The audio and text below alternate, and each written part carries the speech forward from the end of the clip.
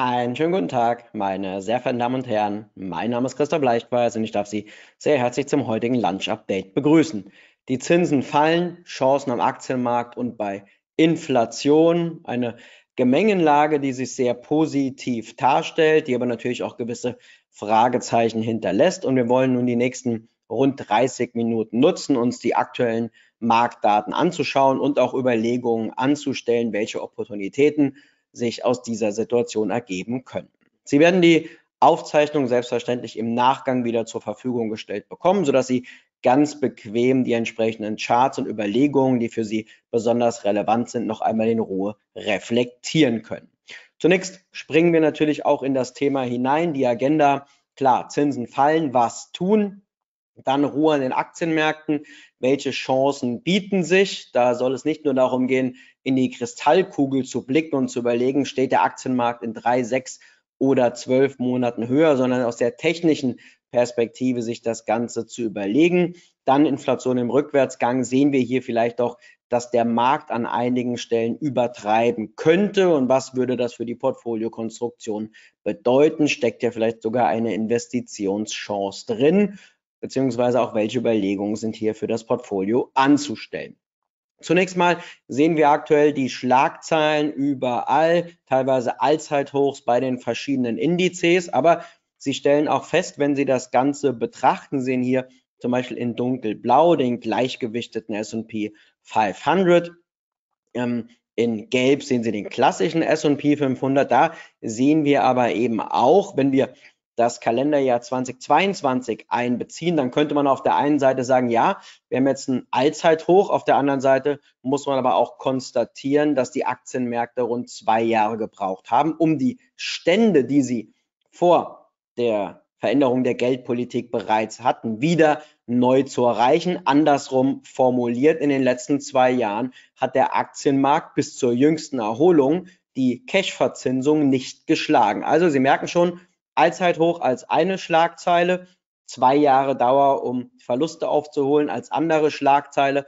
Beide Schlagzeilen sind für sich genommen richtig, da sie auf Fakten basieren, aber Sie merken schon, das Wording beeinflusst die Perspektive des Lesers natürlich sehr stark. Was wir dann hier in diesem Türkisblau sehen, die Entwicklung des Fang Plus Index. Sie wissen, hier sind die etablierten Plattformunternehmen gebündelt. Wir sehen diese massive Outperformance. Und auch das ja eine Frage, wird die Marktbreite im nächsten Jahr zunehmen?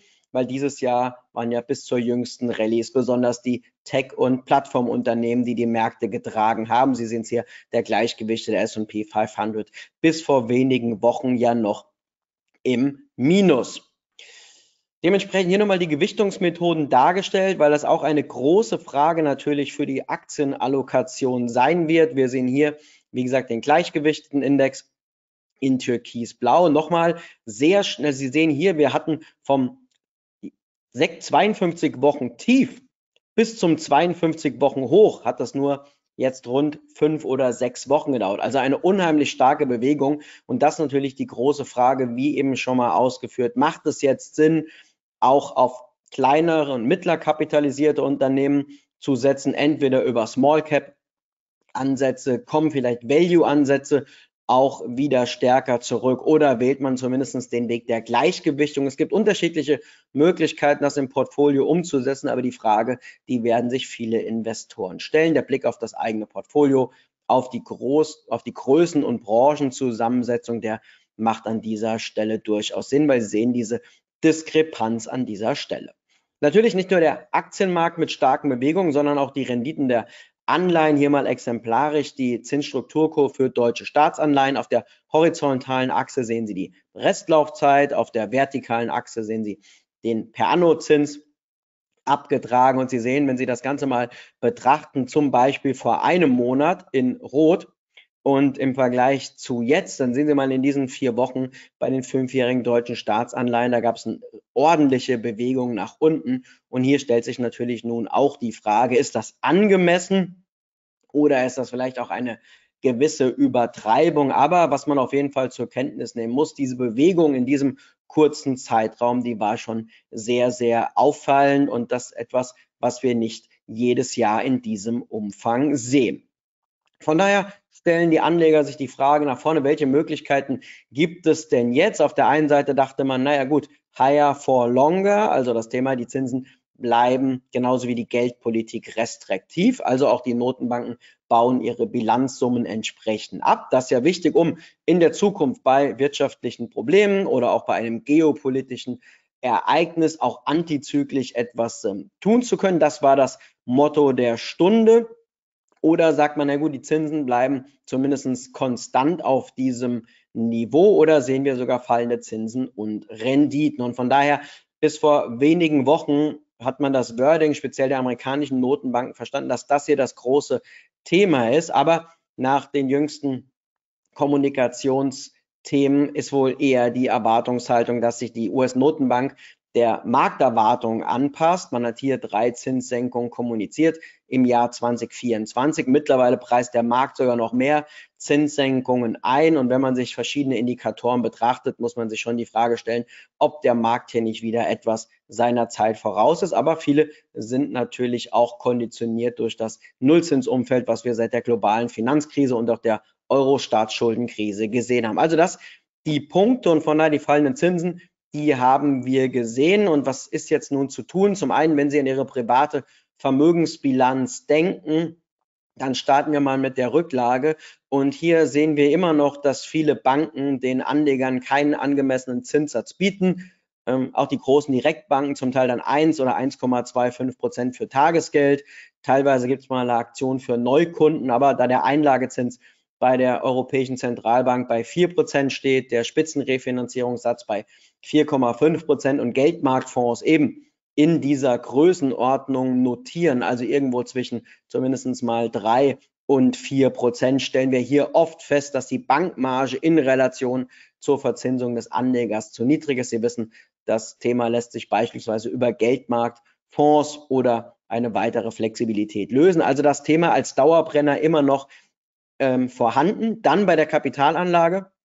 Sie wissen, wir unterscheiden bei Anleihen die verschiedenen Rollen. Wenn Sie Anleihen halten im Portfolio als Quelle für ein Rebalancing, weil Sie sagen, wenn Aktienmärkte fallen, wenn Kreditrisikoprämien steigen, dann möchte ich antizyklisch in diese wachstumsorientierten Teile meines Vermögens investieren.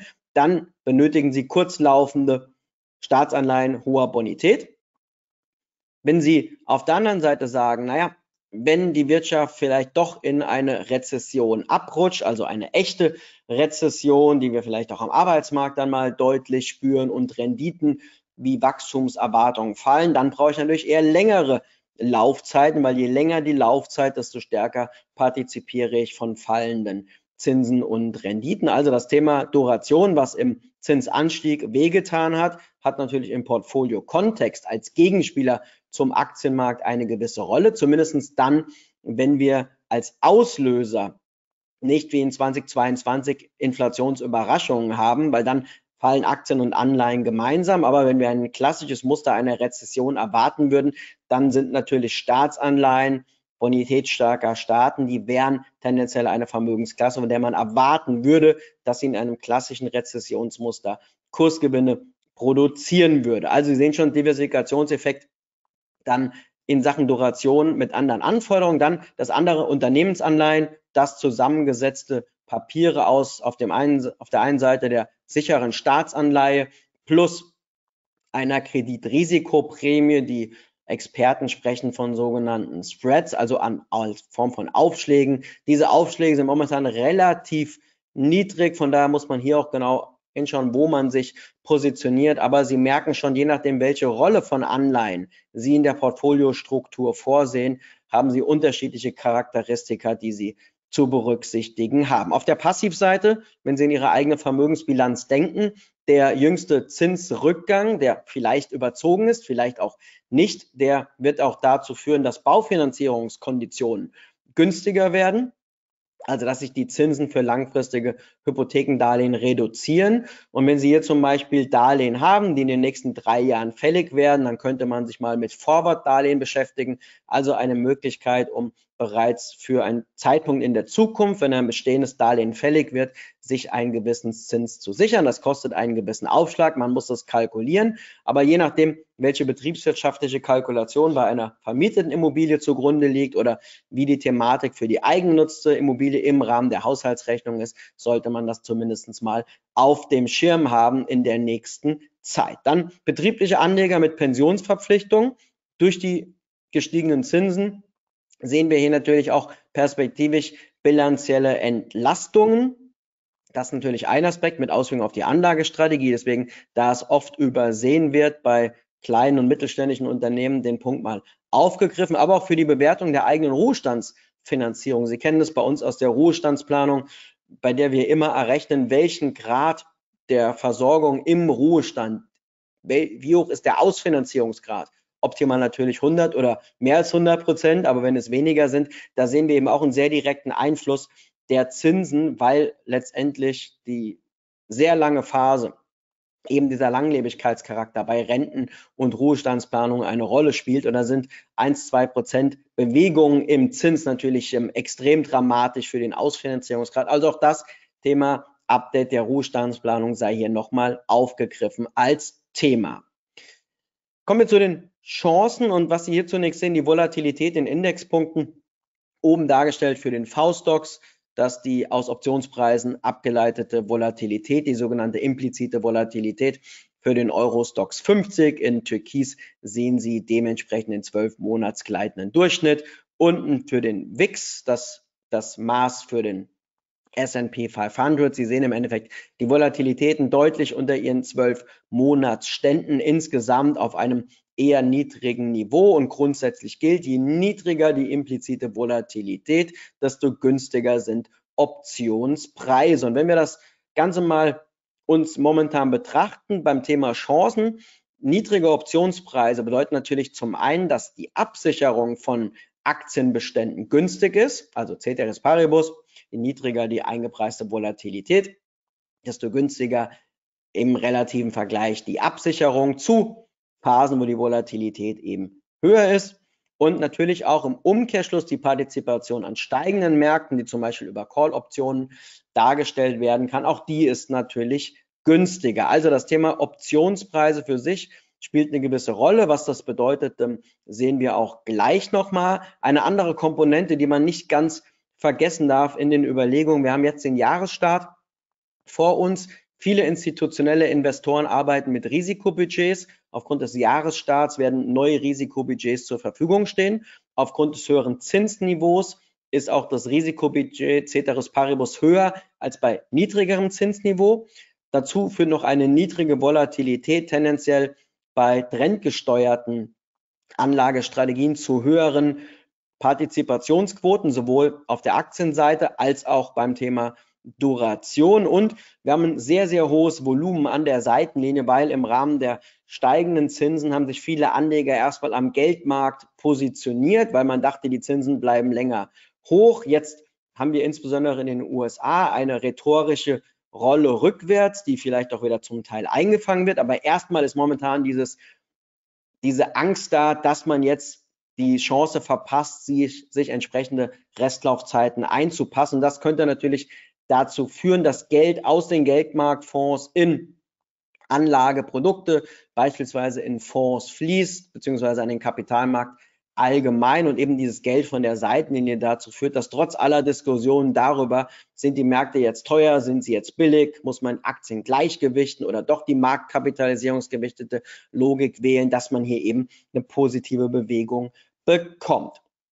Kommen wir zurück zu den Optionspreisen. Wir sprachen ja auch über Chancen. Grundsätzlich gilt für Garantie und Partizipationskonstruktionen, je höher die Zinsen und je höher oder je, je höher die Zinsen und desto niedriger die implizite Volatilität und wir haben trotz des Renditerückgangs immer noch natürlich ein sehr attraktives Zinsniveau im historischen Vergleich und diese Kombination aus noch hohem Zinsniveau und niedriger Volatilität ist ein extrem gutes Umfeld für Garantie- und Teilsicherungsstrategien, ob man sie selbst bastelt in der Logik seiner Anlagestrategie oder ob man sie zum Beispiel über strukturierte Produkte abbildet. Das muss jeder für sich in seiner Anlagestrategie selbst abwägen. Aber grundsätzlich gilt, unabhängig von der Markterwartung zu Zinsen und zur Aktienmarktentwicklung gilt, technisch formuliert, dass die aktuelle Situation stellt sich noch sehr positiv dar für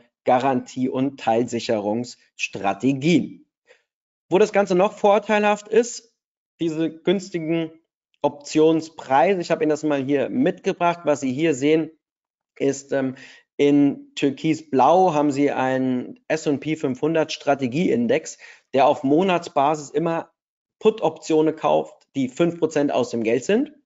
Das gleiche haben Sie in Rot für den DAX. Hier werden allerdings quartalsweise diese Put-Optionen erworben, die 5% aus dem Geld liegen. Ähm, wichtig ist natürlich hierbei zu verstehen, diese 5% sind nicht der maximale Verlust, sondern immer nur für die Laufzeit der Option. Und das sind Indizes, die nicht investierbar sind. Und was Sie hier entsprechend nochmal in diesem, in diesem ähm, Türkisblau sehen, das eine aktive Strategie. Sie wissen, dass die Strategie globale Aktien Protective Put, die als Zertifikat erwerbbar ist, die 2021 eingeführt wurde für Kunden der Vermögensverwaltung, die aber als Zertifikat auch für andere Anleger zur Verfügung steht. Und ähm, auch da gilt natürlich, keine Anlagestrategie sieht befriedigend aus, wenn sie absolut noch im Minus ist über zwei Jahre. Aber wenn man sich überlegt, dass man anstatt dessen das Geld auf dem Konto gehabt hätte, dann ähm, speziell im Jahr 23, dann helfen natürlich auch solche Strategien, um eben das Timing-Risiko, wann investiere ich in die Märkte, zu reduzieren. Und auch hier spielt natürlich wieder der Aspekt mit rein. Niedrige Volatilität schafft da aktuell ein vernünftiges Profil. Also auch das etwas, mit dem man sich beschäftigen sollte. Im Umkehrschluss zu dieser sehr positiven Rahmenbedingungssituation Strukturen wie beispielsweise Bonuszertifikate, die darauf aufsetzen, dass sie einen gewissen Puffer haben nach unten Dort sind die Konstruktionen immer umso günstiger, je höher die eingepreiste Volatilität. Also sprich, man muss sehr genau schauen, mit welchen Optionalitäten man sich beschäftigen will. Günstig für Absicherungen, momentan eher negativ für solche Bonus- und Teilschutzstrukturen. Ganz wichtiger Punkt.